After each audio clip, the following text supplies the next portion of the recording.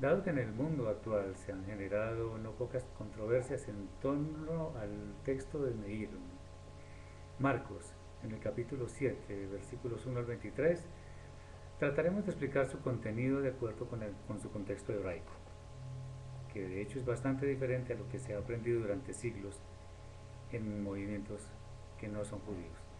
Vamos a leer los primeros cuatro versículos para que entendamos de qué se trata todo esto. Se juntaron a Yeshua los fariseos y algunos de los escribas que habían venido de Jerusalén, de Jerusalén, los cuales, viendo algunos de los discípulos de Yeshua comer pan con manos inmundas, esto es, no lavadas, los condenaban. Porque los fariseos y todos los judíos, aferrándose a la tradición de los ancianos y muchas veces no se lavan las manos, no comen. Y volviendo de la plaza, si no se lavan, no comen. Y otras muchas cosas hay que tomaron para guardar, como los lavamientos de los vasos de beber y de los jarros, y de los utensilios de metal y de los lechos. El problema aquí, como podemos ver, era que se había establecido por el orden rabínico que lavarse las manos antes de comer era prácticamente un mandamiento, casi a la altura de lo que el Eterno había establecido. Aquí nunca se habló de comida, por lo menos hasta aquí no se ha hablado de comida. De hecho, si los contradictores de Yeshua, que no eran pocos, hubieran visto que había algo que no era alimento, de seguro lo habrían condenado y además con justa razón, pero no había nada de esto. Recordemos que los alimentos, o la palabra alimento mejor, significa todo aquello que el Eterno ha dictaminado que el hombre puede comer. Ya explicamos en una anterior exposición que los animales que se pueden comer y los que no están descritos en el libro de Levítico capítulo 11. Pero sigamos adelante. Entonces aquí se trata de algo que se estaba estableciendo rabínicamente, como el lavado de las manos antes de comer, que se estaba impulsando a la gente a que lo cumplieran como si fuera una mitzvah, un mandamiento del Eterno mismo cuando era mandamiento de hombres. Vamos a leer los versículos 5 al 13. Le preguntaron pues los fariseos y los escribas, ¿por qué tus discípulos no andan conforme a la tradición de los ancianos, sino que comen pan con manos inmundas? Respondiendo él les dijo, Hipócritas, bien profetizó de vosotros Isaías como está escrito, este pueblo de labios me honra, mas su corazón está lejos de mí. Pues en vano me honran, enseñando como doctrinas mandamientos de hombres, porque dejando el mandamiento de Dios, os aferráis a la tradición de los hombres, los lavamientos de los jarros y de los vasos de beber, y hacéis otras muchas cosas semejantes.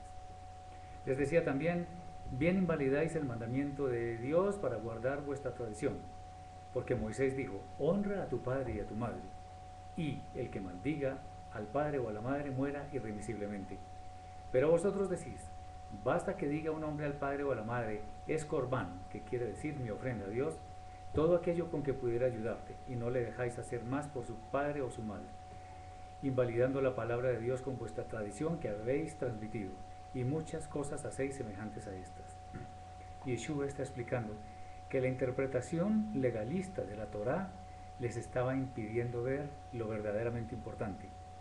Está bien lavarse las manos antes de comer, pero eso no debe ser una carga tal que si una persona por alguna razón no se pudo lavar las manos, se condene, porque esto no es ningún mandamiento que exista dentro de la Torá escrita. Por supuesto, por higiene deberíamos hacerlo siempre, pero no como una carga pesada de llevar, en la cual nos vamos a condenar si no observamos tal ordenanza. Esto es una ordenanza rabínica que en principio eh, fue elaborada con muy buena fe. El problema es la interpretación legalista que hace que esto se quiera ver como una misbah, como un mandamiento del Eterno. Leamos los dos siguientes versículos, el 14 y el 15. Y llamando así a toda la multitud les dijo, oídme todos y entended, nada hay fuera del hombre que entre en él que le pueda contaminar pero lo que sale de él, eso es lo que contamina al hombre. Se daba por sentado que lo que estaba, lo que se estaba comiendo era todo permitido por la Torá, de acuerdo con el capítulo 11 del libro de Levítico, como ya lo hemos mencionado, puesto que Yeshua no violó la Torá, porque era un judío muy observante de lo que le tocaba observar. Recordemos, a propósito de esto, en la primera carta de Juan, capítulo 3, versículo 4, en la que dice que el, pecado es la violación de la Torah.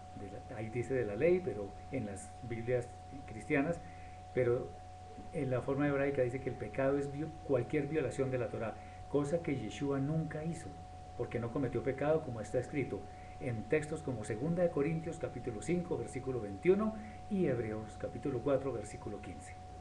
Vamos a leer de los versículos 17 al 19, aprovechando para decir que el versículo 16, de acuerdo con el estudio de muchos, eh, de muchos hombres que han escudriñado los textos más antiguos, han encontrado que el versículo 16 es una añadidura. Entonces sigamos con el versículo 17 al 19.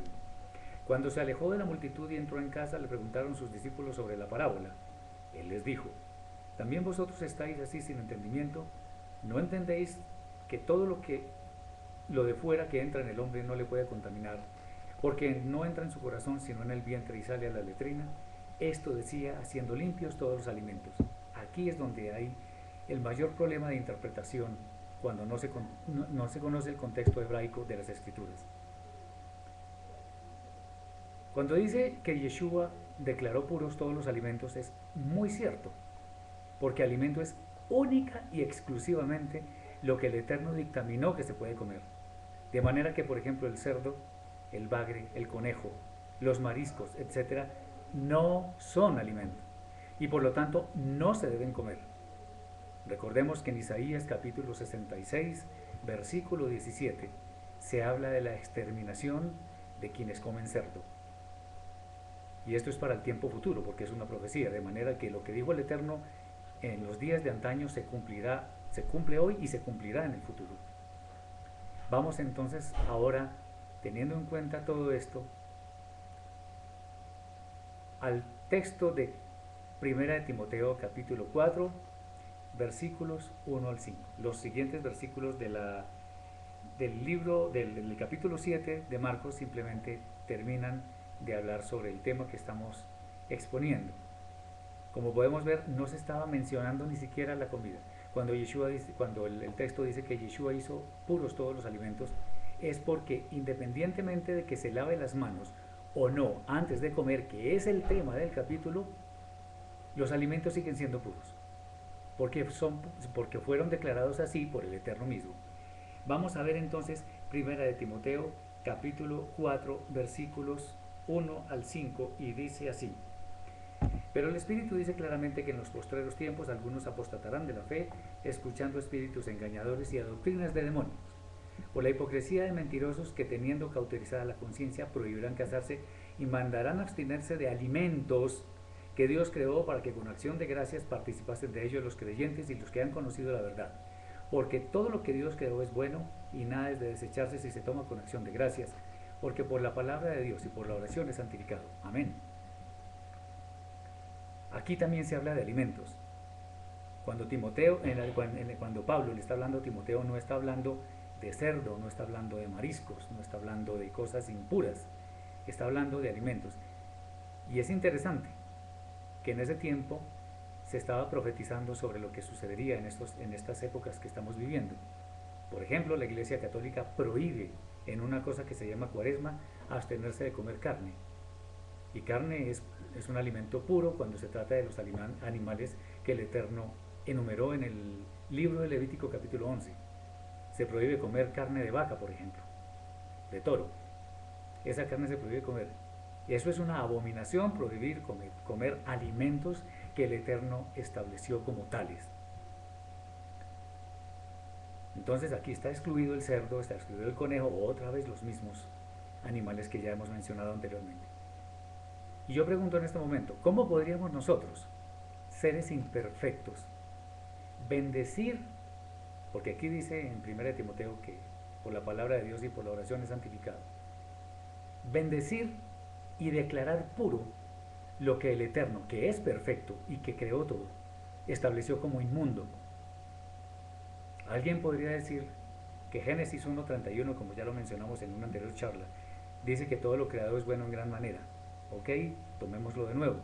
Efectivamente es bueno todo en gran manera, pero para el propósito para el cual fue creado.